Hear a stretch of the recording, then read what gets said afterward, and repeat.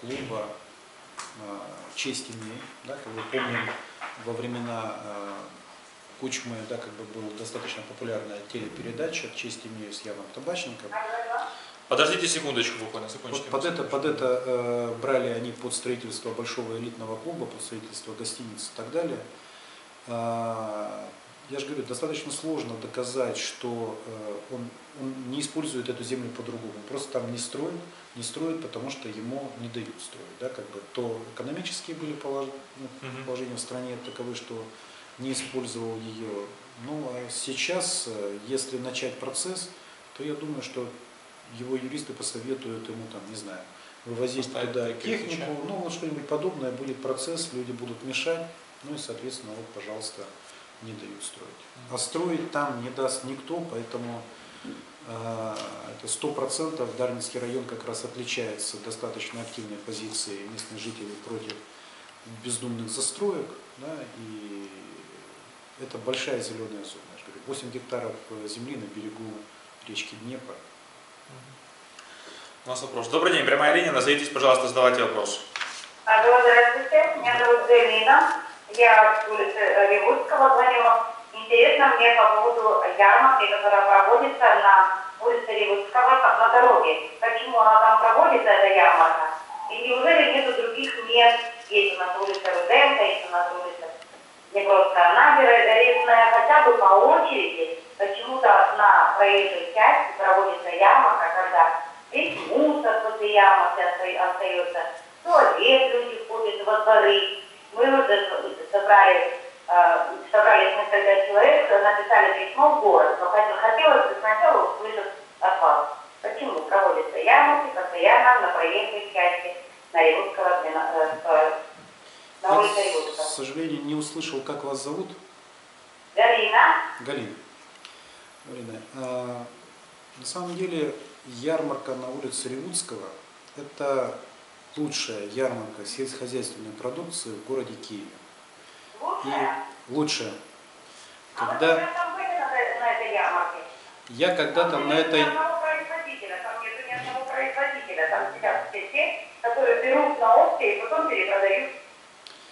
Я когда-то на этой ярмарке, учась в 10-11 классе, даже торговал потому что время было тогда достаточно тяжелое. Мы с мамой там продавали много всего, на самом деле покупали в одном месте, как правило, на Троещине, там продавали. Именно на дороге, если вы живете там рядышком, вы прекрасно знаете эту улицу. Да? Широкая, большая проезжая часть и есть так называемые объездные дороги вдоль Ревудского от э, фактически станции метро Харьковская до перекрестка с улицей Ахматовой. Они обе перекрыты. Они когда идет ярмарка, они обе дороги перекрыты. Когда проходит ярмарка, машины проезжают по этим улицам. Туалеты там есть, туда выставляют биотуалеты каждый раз. По поводу мусора, на самом деле долгое время это было очень неорганизовано. Последние 2-3 года там от того, что э, и предприниматели организовались и достаточно активно убирают это все, и районные коммунальные службы убирают после ярмарки, в другом месте организовать, в другом месте в Дарницком районе, такую ярмарку, на которую бы выезжало 600-700 э, продавцов, да, как бы вот э, с машин, вы знаете, как происходит там торговля, такого другого места в районе нет. Можно, я, я договорю, на самом... Я...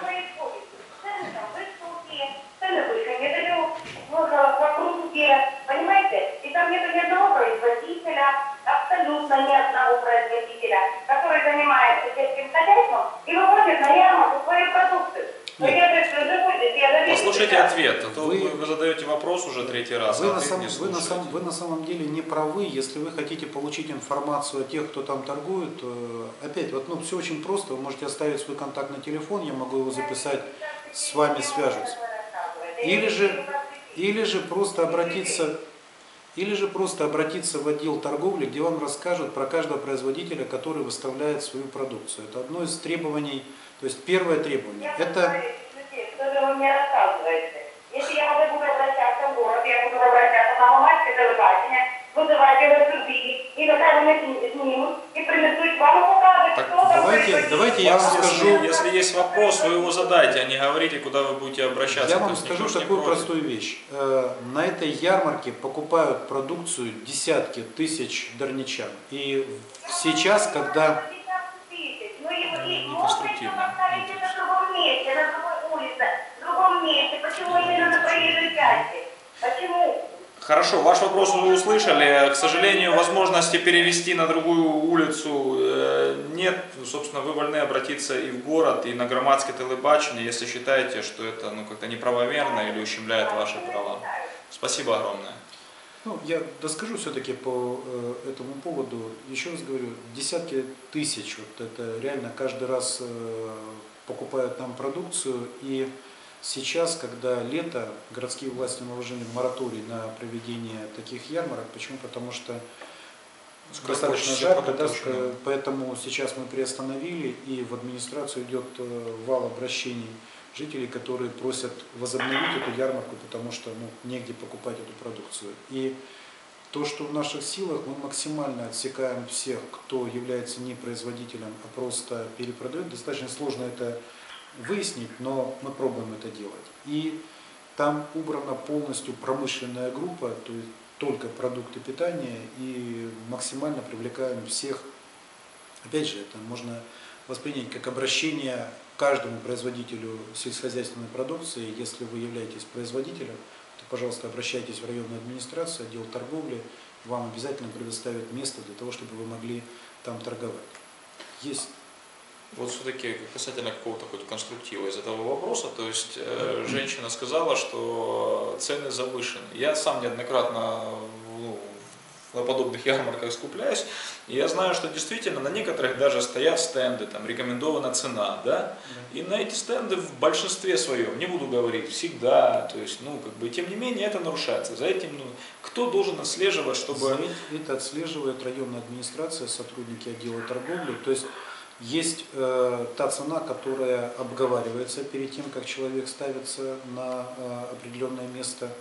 И э, если замечаем, что от рекомендованной цены этот человек э, отошел, да, как бы вот э, торговец на этой ярмарке, то его просто не допустят в следующий раз. Поэтому если есть информация о том, что вот вы идете, и вы видите, что эта цена завышена, есть э, цена, обязательно должны быть как правильно, маркеры, да, э, на которых написаны Ценники. э, ценники, да, на которых написана цена. И если эта цена завышена, просто дайте эту информацию в районную администрацию, и этот продавец на ярмарке не появится больше. У нас вопрос. э, Добрый день, назовитесь, пожалуйста, задавайте вопрос. Добрый день, меня зовут Марина. Геннадий Львович, подскажите, пожалуйста, э, всем было известно, что на заброшенной территории Дарнице был э, табор цыган. Потом там произошел пожар, они оттуда ушли. Есть ли сейчас в Дарнице проблема с цыганами? Знаете ли вы об их местонахождении на сегодняшний день? А, Ну, цыгане, э, давайте так, э, чтобы быть правильным все-таки будем называть их ромами, да, э, ромское население на самом деле достаточно долго проживает на территории Дарницкого района. Они жили раньше на улице Тепловозной, э, потом было время, когда незаконные застройщики согнали их э, с того места, там они ушли не потому, что был пожар, а просто их оттуда выгнали, а потом там начали выжигать территорию. Э, Сейчас они перешли на улицу Канальную, и там сейчас лагерь этот до сих пор находится. На самом деле достаточно, э, достаточно сложно говорить что-то по поводу того, как с этим явлением бороться. Э, Районная администрация Дарницкая одна из, по-моему, шести администраций в Украине, которые включены в программу Ромет-2. Это международная программа, которой занимается Совет Европы. Там есть э, специально созданная комиссия по делам ромов. Э, Находится она в городе Страсбург. Те ромы, которые проживают у нас в районе, они приехали из Закарпатской области. Есть такой город Берегово, табор, в котором они там живут, насчитывает более пяти тысяч э, ромов. Я был в Берегово, общался с цыганскими, с ромскими баронами, общался с людьми из э, городского совета местного. Мы обсуждали как бы общие проблемы, каким образом можно было бы их отсюда э, вернуть в постоянное место их проживания. Был даже в городе Страсбург, встречался с мэрией Страсбурга, потому что они там лучше всех в Европе разрешают вопросы с ромами.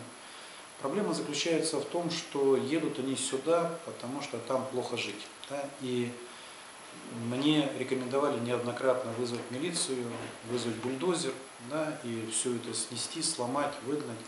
Есть один, одна простая вещь, это люди, и там есть дети, и просто силовым методом нельзя, есть э, Конвенция о защите прав человека, да, и люди выбрали себе такой метод жизни.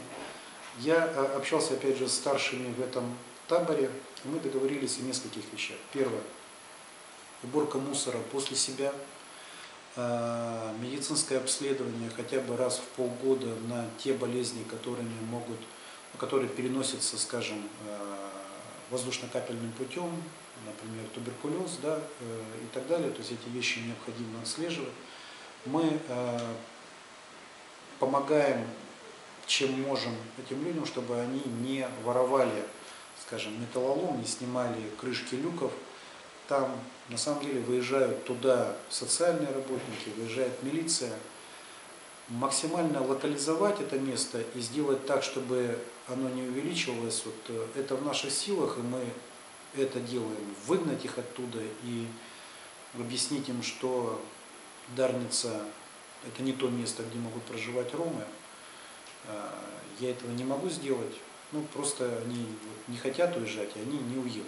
Да? А, побить, э, я же говорю, с помощью бульдозеров выгонять – это не дело властей. Понятно, что сейчас для того, чтобы, вот, что бы ни сделать э, с этим лагерем, необходимы средства. И мои поездки в тот же Страсбург да, заключались в том, чтобы, может быть, попробовать э, найти международные гранты, те общественные международные организации, которые могли бы работать э, с ромами. Да? Ну, то есть этот процесс сейчас идет, я не так давно этим занялся, но европейцы не так быстро реагируют на все наши требования, как бы этого хотелось. Но Какие вещи есть? Проходят национальные круглые столы. Я на самом деле пока в это все не окунулся, не знал, что так много всего сделано. Но вот мы этим занимаемся.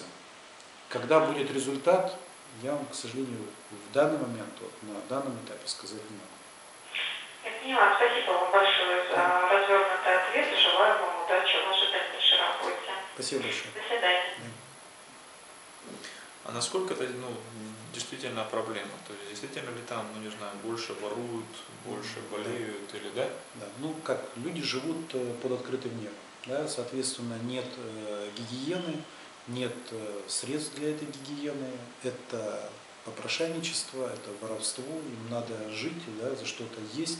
Работать, как правило, э, особо они не хотят, и проблема еще заключается в том, что если мы возьмем Берегово, да, там это огромная территория, просто огромный целый район, застроенный э, трущобами такими, что ну, это страшно. Это шан, ну, реально да. И э, есть манипуляции разные, то есть э, они очень много рожают, да, как бы это традиционные вещи, плюс за каждого рожденного ребенка у нас здесь можно получить э, социальные выплаты, да, то, что происходит. Многие из них живут без паспортов. Э, оформляют документы, рожают, получают карточку для э, выплаты, для социальных выплат. После этого барон местный приглашает к себе, эту карточку забирает, да, таким образом формирует себе некий пул таких социальных выплат и занимается тем, что он получает деньги по этим карточкам. Э, объясняя неграмотным что, к сожалению, здесь, там, в Берегово, в Мукачево нет возможности у бюджета оплачивать вам, ну, то есть их просто обманывают. Они э, по цыганской почте связываются с теми, кто живет, скажем, в городе Киеве, те рассказывают, а в Киеве вот платят. Да, почему платят? Потому что здесь просто никто не забирает эту карточку. Поэтому они с насиженного места срываются, приезжают сюда, идут э, в наше управление социальной защиты. Сейчас не надо иметь место регистрации, да, то есть вот и им переоформляют карточку, им говорят, что ее украли, там, потеряли и так далее. Та карточка ликвидируется, получается новая, и вот они таким образом э, существуют, живут. Э, ну, плюс, конечно же, очень много воруют, они занимаются, как правило, э, металлоломом, да, то есть собирают весь металлолом в округе, тащат его в пункты приема металлолома. Другое дело, что мы пытались разговаривать с приемщиками, чтобы они, скажем, не принимали крышки люков, чтобы они не принимали э, решетки Урны и Да, прочее, ну, прочее, ну, вот не принимайте, потому что это неправильно. И когда мы э, находим такие пункты приема, где лежат, скажем, люк, то туда мы туда вызываем милицию. Ну, получается все дальше очень просто. Лежит рядышком большая кувалда, и как только приносится люк, кувалдой по этому люку, да, он разбивается, и когда мы видим, что лежат остатки люка, они говорят, ну вот человек принес э, разбитый люк, он же просто убрал его с того места. На самом деле и в этом тоже должна принимать участие милиция, они должны с этими э, пунктами приема металлолома работать, заниматься, но особо у них желания этим заниматься нет. У нас вопрос. Добрый день, прямая линия. Назовитесь, пожалуйста, задавайте вопрос. Добрый день, меня зовут Ольга. Э, Я проживаю по улице Ленина, 61, Бортнич. Я бы хотела узнать по поводу теплового счетчика в нашем доме. Он у нас есть, но он не в рабочем состоянии. Когда его починят и когда нам ждать каких-то изменений? До отопительного сезона. Будет счетчик установлен. Да. Спасибо. До свидания. А в этой вот общине там есть с кем, с кем договариваться? Вот вы говорите, что пришли там с главными или баронами. Ну, или есть, э, есть старшие. э, Вы понимаете как, сегодня там может быть старший, завтра он собрал вещи и уехал. То есть, ну, как бы это все такое перманентно, и э, есть, э, ну, как бы мы работаем больше, на самом деле, э, с детьми, для того, чтобы ну, хотя бы защитить э, детей. Вот мы э, там, запрещаем им э, оставлять детей одних на берегу, там, берег озера, на берегу озера, оставлять одних э, в лагере. Да? То есть вот если уж вы здесь живете, да, то, пожалуйста, когда вы расходитесь, с детьми должен кто-то остаться старше. И, слава Богу, мы об этом договорились. Не брать детей на работу. Как правило, они работают в местах, где идет э, сортировка мусора, да, и так далее. Они брали с собой маленьких детей. Это табу. Э, табу нахождения детей на территории Дарницкого района в период э, учебы.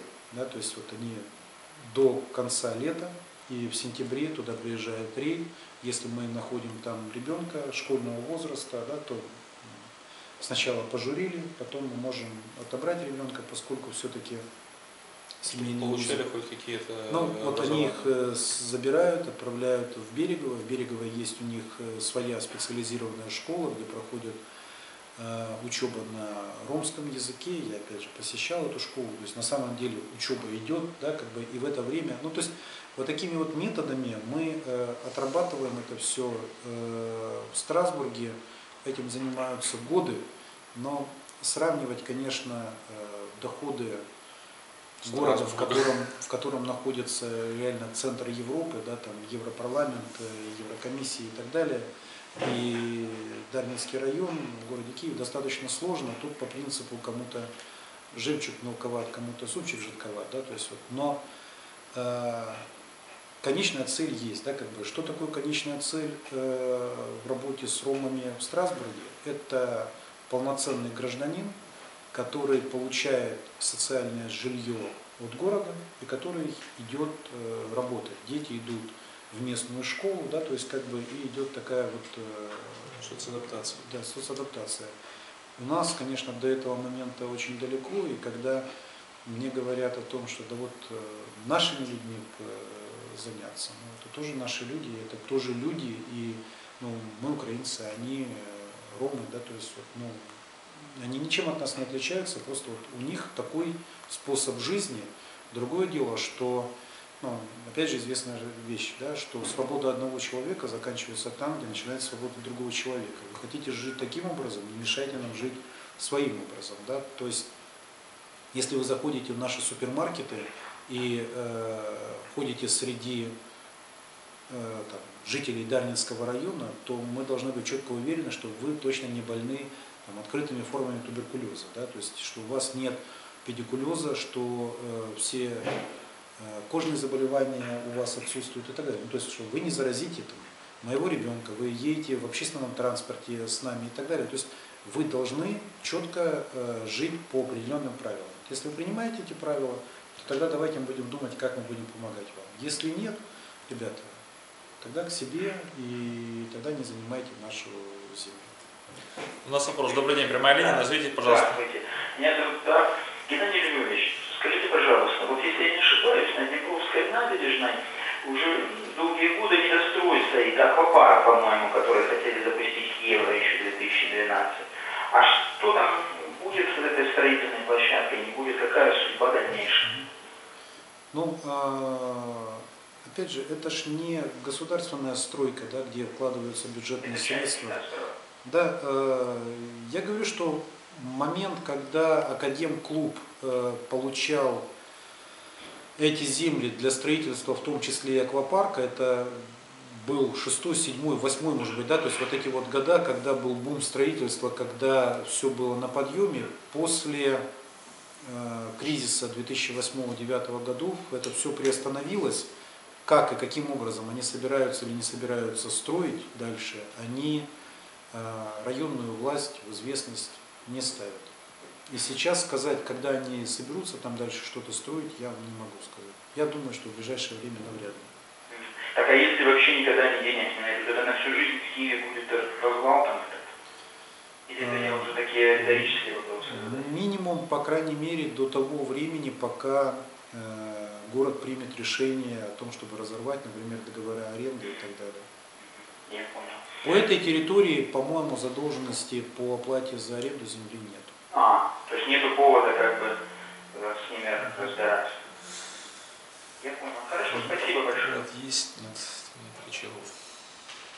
Ну, если они завтра найдут соинвестора, либо инвестора вообще, да, который вложит в это деньги и Ну будет да, дальше да. расстраиваться, ну, это, пожалуйста, это может быть, но опять же надо четко понимать, на какой территории, как это будет э, расстраиваться, потому что в свое время получали достаточно большой кусок земли, там есть и частный сектор под это подпадал, есть люди, которые готовы переезжать, если им что-то дают в многоквартирных домах, а есть люди, которые говорят о том, что мы никуда переезжать не собираемся, и у нас на территории района есть такие э,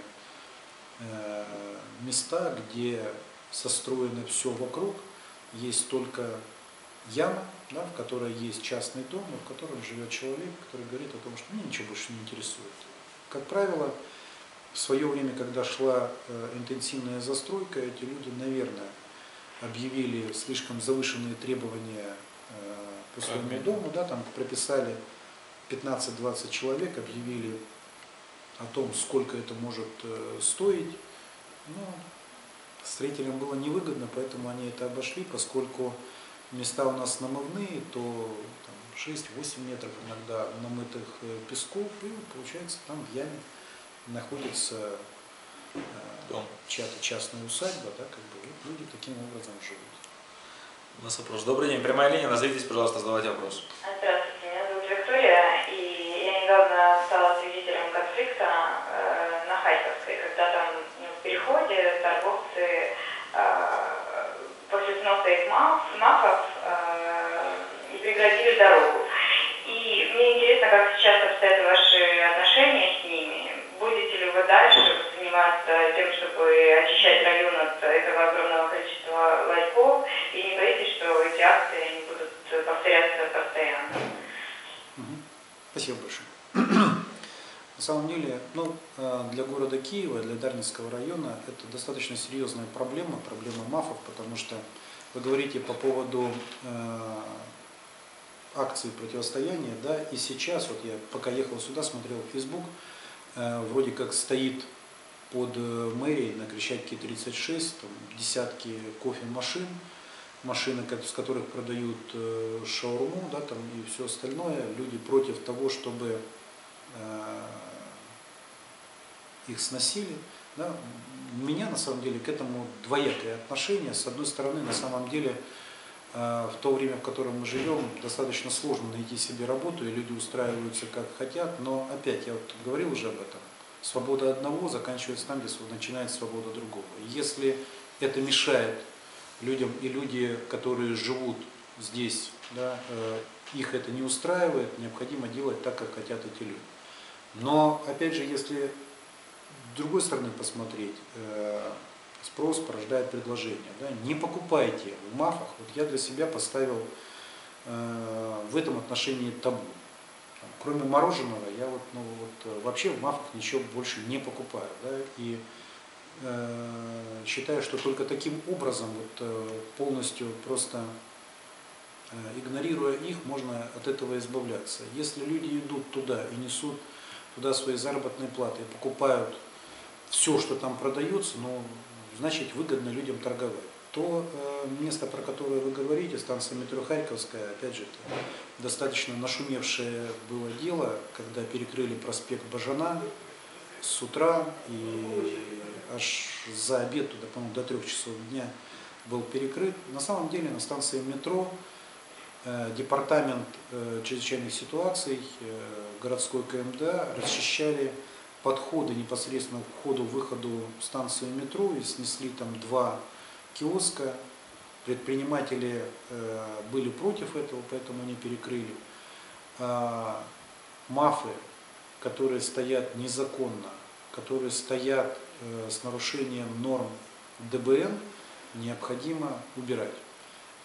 Все остальное необходимо упорядочить, необходимо, чтобы на самом деле заработала комплексная схема размещения мафов, необходимо, чтобы мафы платили бюджет города, для того, чтобы это было все официально. В свое время, ну, я это помню, да, когда у нас э, в районе на каждом шагу были видеосалоны, не знаю, помните, не помните, да, э, гривны тогда не было, один рубль, входишь, Хонгельдом, э, Вандам, да, как бы все остальное. Куда они делись? Люди туда перестали ходить, люди купили себе видеомагнитофоны домой, да, видеосалоны исчезли. Совсем недавно, я еще был начальником службы по делам детей, мы боролись э, с компьютерными клубами. Почему боролись? Потому что в учебное время в этих клубах сидела масса детей, которая играла в Counter-Strike, да, сетка, и вот сутками там просиживали. Когда это после школы, это их дело. В школьное время служба должна была отслеживать это, заходили с рейдами, закрывали двери с милицией там, и так далее. Сейчас нет этой проблемы. Да, то есть дети не сидят в компьютерных клубах, и такого количества компьютерных клубов нету. Почему? Что каждый сел дома, да, включил интернет, э, Wi-Fi зона, да, то есть как бы все это исчезло. Исчезает потребность, да, и тогда исчезнет сама проблема. Если э, в новых микрорайонах, таких как, например, у нас на улице Чавдар, э, улица Ващенко, на Пчелке, там фактически отсутствуют эти малые архитектурные формы, потому что там уже на первых этажах организованы не жилые помещения, которые дробятся достаточно на маленькие помещения, где предприниматели э, ну, работают уже на первых этажах, там просто потребностей в мафах как таковых нету.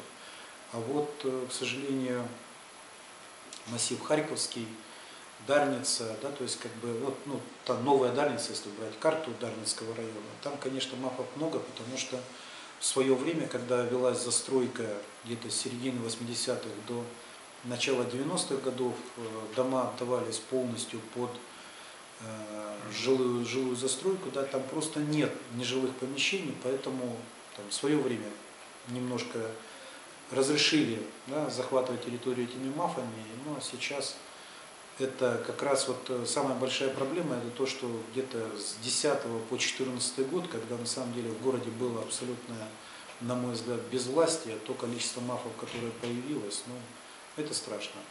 с ними надо не бороться, снося все подряд, а на самом деле упорядочить, э, дать общую программу действий, общие правила, которые приняты были бы